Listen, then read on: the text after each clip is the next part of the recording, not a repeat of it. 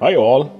So while this video focuses on solar panels from Jackery, this problem and the solution relates to almost all portable panels with kickstands. When you're outdoors on a windy day, your panels may tip over, get dirty, and even permanently damaged. This is especially aggravating when you pay top dollars for your panels. For example, these Jackery panels cost $700 and $300 respectively, and the warranty does not cover panel damage from wind. The cause of the problem is quite simple.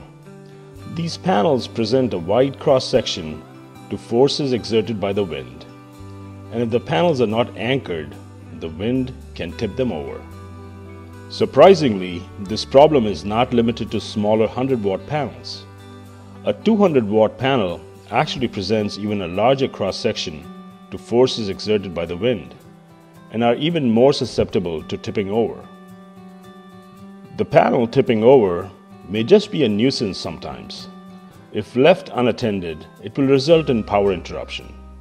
Sometimes the panel surface will get dirty and require a wipe down with a clean damp cloth. And sometimes it may result in permanent damage like this gash on the ETFE layer as a result of my panel getting blown over and hitting a sharp object.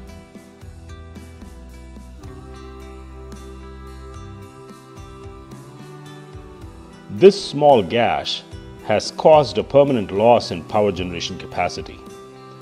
These two panels were bought at the same time and initially had very similar performance. And now, as you can see, there is a power degradation of 20 to 25%. Solar Stakes is an elegant solution for this problem. They're widely compatible with solar panels kickstands. They're designed to work on various surfaces, and we are running a 50% discount on Amazon for a limited time.